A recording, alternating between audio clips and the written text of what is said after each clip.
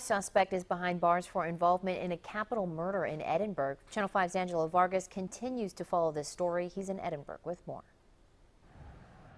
The criminal complaint says a female helped in the kidnapping and killing of Jose Angel Martinez. Now 27-year-old Sandy Lutz Rodriguez is charged with capital murder of Jose Angel Martinez. Hidalgo County Sheriff's investigators found body parts of Martinez in a shallow grave in a mission ranch.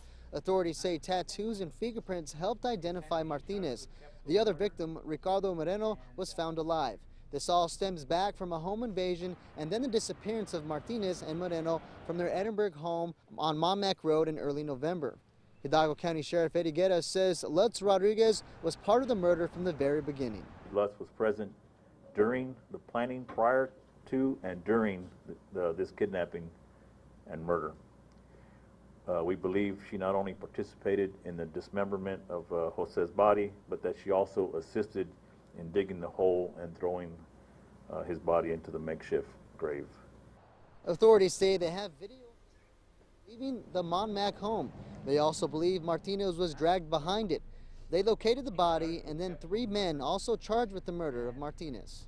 Guerra says the investigation is now complete. Right now, we are working on more of Guerra's interview about how the body was found on that Mission Ranch. In Edinburg. Angelo Vargas, Channel 5 News at noon.